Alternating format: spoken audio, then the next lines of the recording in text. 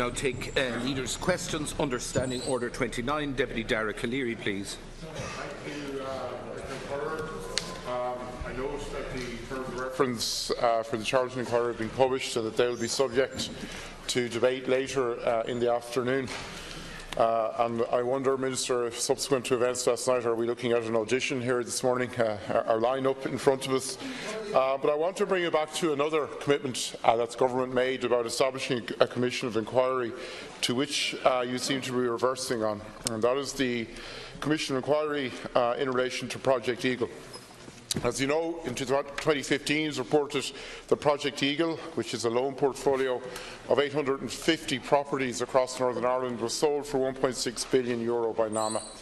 A huge amount of concern that this is not the true value for this amount of properties and that the true value is not sought or not delivered.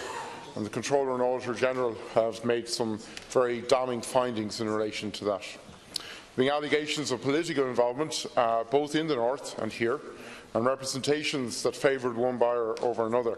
And these have been covered by a BBC Spotlight programme in detail.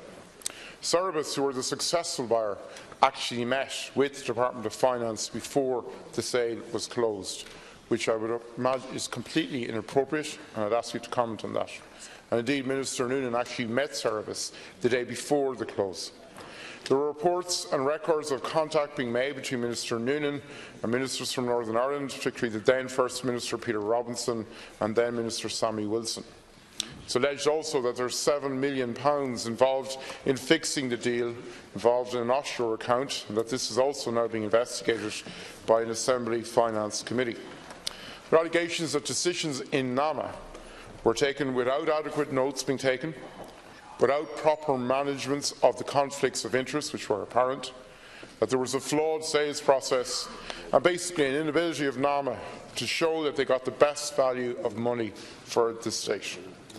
Indeed, the sales involved so much money that there are investigations underway by the Securities and Exchange Commission in the United States as well as the US Department of Justice. I know the PAC are finalising reports, indeed as we speak, uh, in relation uh, to this sale, and they've been working on it for the past number of months. But the government did commit, on an all-party basis, to a commission of inquiry into Project Eagle some weeks ago.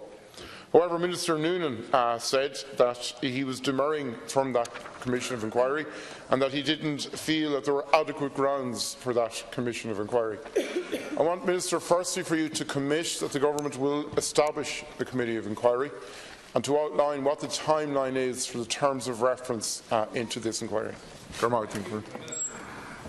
I'd like to thank the Deputy for his question. Uh, first of all, I, would like to, to, to say that I was in the House here when we established uh, NAMA. And one of the things that we took huge care to ensure was that the Minister for Finance of the day could have no possibility of interfering in the commercial activities of NAMA. That was written into the law very carefully, and I was on the opposition benches, and that was done for good reason, to make sure that NAMA was established on an independent basis that would make its own commercial decisions. I think that has been at the bedrock of, of the, the operations of NAMA, and that means very clearly that the Minister for Finance is completely cut off from the way in which they make decisions about Cerberus, about uh, Project Eagle, legal or about any other matter in which they are dealing. And I think it's very important that the House is aware of that very clear separation. Now, in, in terms of the uh, idea of uh, establishing a commission of investigation, I understand that the Taoiseach met with the leaders of the opposition uh, and it was agreed in principle that such a, a commission would be established. But also we, under, we know, as you adverted to yourself, that the PAC is doing a report on this issue following up on the report of the Comptroller and Auditor General. And I think it is appropriate that we would hear the outcome of the deliberations of the PAC, which is, is itself uh, an organ of this House, before we make a decision uh, in, in, plenary here on the terms of reference uh, and the appropriate scope of any commission of investigation. And I think you know, that is the approach that's being taken, and it is uh, wholly appropriate. Uh, I think the, the issue of the investigation, the results results will fall where, where they may, and the government is fully open to such an approach. Thank you. Deputy Calleary. Minister, if to quote your own phrase, the minister is completely cut off. Why did he meet Cerberus the day before the deal on Project Eagle went through? Why did he say only uh, a few weeks ago in this House that in his view there did not seem to be adequate grounds for a commission? That doesn't suggest to me that a minister is completely cut off. And what we're looking at here is, did NAMA get full return for taxpayers' money? Did it deliver the best return possible to taxpayers? And in the view of the Comptroller and Auditor General, it didn't. Our watchdog, our spending watchdog. So the, the notion that the Minister could be cut off is failed in that particular uh, instance. And in fact, taxpayers have been failed and we need to get answers. So I welcome your commitment that the Commission will be established. Uh, I want to give us uh, some sort of idea that as soon we expect PAC to publish the report over the next fortnight, how quickly will you as a government move to establish the Commission on that basis?